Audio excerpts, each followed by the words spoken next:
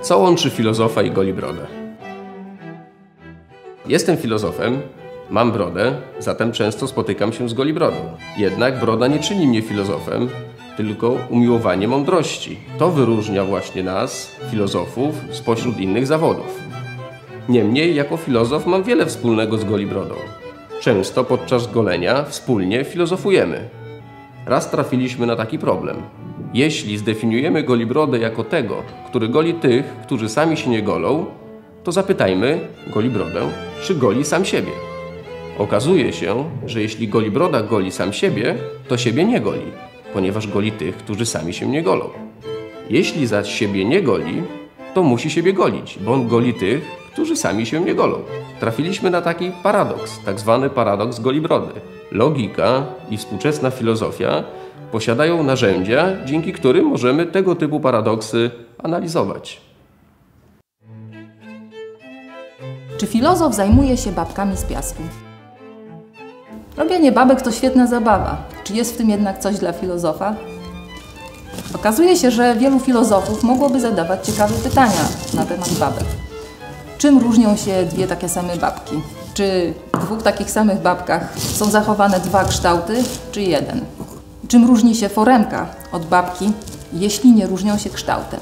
Te zagadnienia są same w sobie ciekawe, lecz przede wszystkim od tego, jak rozstrzygamy takie pytania o babkach i im podobne, zależą nasze odpowiedzi na pytania już trudniejsze.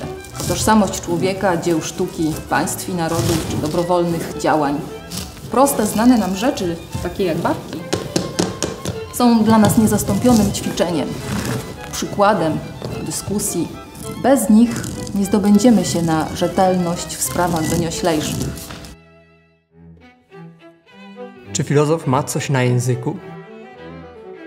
Tak, to się zdarza. Czasami są to pypcie. To takie twórcze momenty, gdy coś każe mi odnaleźć inną drogę, żeby wypowiedzieć ważną myśl. Czasami zresztą brakuje mi języka w gębie, czasami język płata mi figle, czasami nawet język mnie świeżbi albo cierpnie w niepewności. Moje spotkania z uczniami to właśnie nieustanne poszukiwanie odpowiedniego języka. Jestem osobą, która myśli przez język, a zarazem wciąż coś gna mnie do cudzych języków, gdzie mogę przez chwilę być i się czegoś douczyć. Wtedy się dojęzyczam. Pożywiam językowo. Czym jest jednak mój głód? Dlaczego głoduję? Czy gruba baba ma wiele wspólnego z lekcjami filozofii? Może mieć całkiem sporo. Na lekcjach filozofii doświadczamy i uczymy się rozpoznawać intersubiektywny charakter naszych sądów. W zależności od przyjętych norm i kryteriów, kto inny okazuje się grubą babą. Mamy szansę także dostrzec różne wartości i zastanowić się nad ich doniosłością. Czy w babie najważniejsze jest to, że jest gruba? Ponadto jest okazja, by poszukiwać satysfakcjonujących form relacji międzyludzkich. Jak pogodzić takt i dyskrecję ze szczerością wobec grubej baby? A czasem, ryzykując dyskomfort samopoznania, krytycznie badamy źródła naszych przekonań. Do czego potrzebujemy grubej baby? Może dzięki niej czujemy się lekko i właściwie. Wystarczy zostać detektywem grubych bab i tak łatwo zapomnieć o własnych nadwyżkach i niedostatkach. Czy filozof się nudzi? Bywa, że się nudzi, ale jest to stan niezwykle trudny do osiągnięcia. Filozofowanie to potrzeba stawiania pytań, a świat stawia zbyt wiele pytań dla filozofa, na które mógłby odpowiedzieć. Filozof poradzi sobie z nudą, po prostu zacznie o niej filozofować. Dlaczego się nudzę? Czy inne zwierzęta też się nudzą?